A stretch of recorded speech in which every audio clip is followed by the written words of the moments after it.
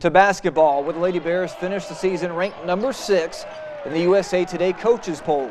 Baylor went 33 and 4 overall before falling to Mississippi State in the Elite Eight. Lady Bears will join, well, actually, will lose Nina Davis, Alexis Jones, Khadijiah Cave, and Alexis Prince to graduation. However, they do bring back a wealth of talent plus a great freshman class. And that's a look at sports. We'll be back after.